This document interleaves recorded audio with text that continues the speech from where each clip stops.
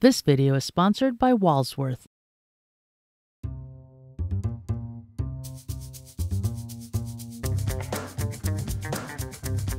Hey there, CreativePro friends, Khara Plicanic, and today I'm going to show you how to work with drop shadows in Photoshop. So here I have a layered PSD file, and I've got a text layer, and then I have a number of bits and bobs below it, some greenery bits, and some bits and bobs in the form of flowers that are in a folder here that are actually on top of the text. So as is often the case in Photoshop, to really sell our composites, we need to have some realistic lighting, and that means often drop shadows. So how do we do that? Where do we start? Let's take a peek at this layer here. So this is this leaf that is behind everything right here. So we want to add a drop shadow to this. With this layer selected, we're going to go down to the bottom of the layers panel and we're going to choose this little effects icon right there, which will give us this little pop-up. And then we can choose drop shadow. So that's one way to work. I'm going to cancel this right now. Uh, as you can see, it's kind of annoying because you have to click here and you have to scroll and then I have my dock popping up and it's like, what? Let's just avoid all of that. So another way to work is to just double click in an empty area. So next to the layer name in this area, if you double click, that's going to open your layer style window.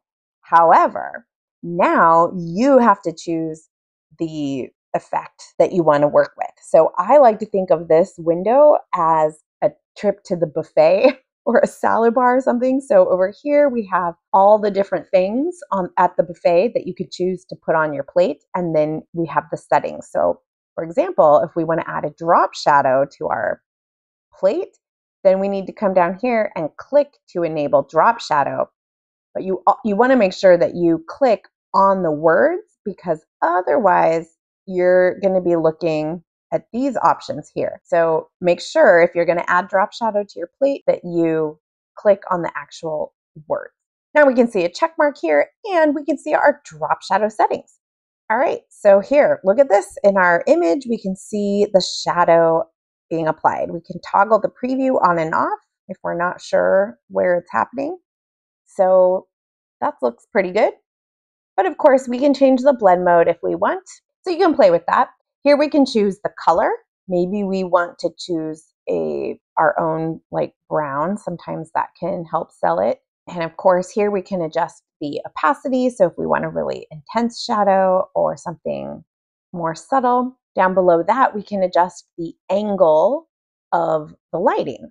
So if we want the shadow to fall in the bottom right of the object, then we want the light to be in the top left. So I like to think of this little thing as pointing to the light source. So over here, there's an option to use what's called global light. So if we enable global light, we can set the values for our drop shadow that will then apply to everything in this document. So sometimes it's great to use global light and sometimes it's not. Down here, we can adjust the distance. So how much distance is there between the object and the shadow? We can adjust the spread and the size. So the size changes the size of the theoretical light source and a larger size is going to give you a softer shadow. So it's like a blur setting essentially. Down below, you can play with some other really cool settings like contour but for drop shadow, you're probably to just leave this as the default for most of the time. When we're happy with everything, we'll click OK. And let's see our document. Ooh, that looks that looks really good. We can see now in the layers panel that this layer, layer 9, now has a drop shadow applied to it, which is indicated with the effects icon here. That also adds a little drawer to our layer so we can see that we've got an effect applied and which effect is it? Oh yeah, it's a drop shadow. We just added it. So if we want to see it without that drop shadow, we can either toggle the little eyeball here to toggle that on and off, Or if we had multiple multiple effects, we could hide them all by just clicking the effects eyeball right there. We can also close the drawer to tidy up our layers panel by clicking the little caret right here. So that's great. If we want to make changes to that, we can just double click right on the effects icon to get back to our layer style dialog. And we could click on the words drop shadow and then we can make those changes. Or if we open our drawer and we click right on the words drop shadow, that will open up our layer style and it will do so with the drop shadow settings already active. So now that we have that set up, how can we apply this drop shadow to all the other stuff? So one thing we can do is hold down the Alt or Option key, and then we can just click and drag either right on the drop shadow, like that. We can drag it and drop it on another layer. We could drag and drop the effects icon. If we had more than one effect, that would copy all of them.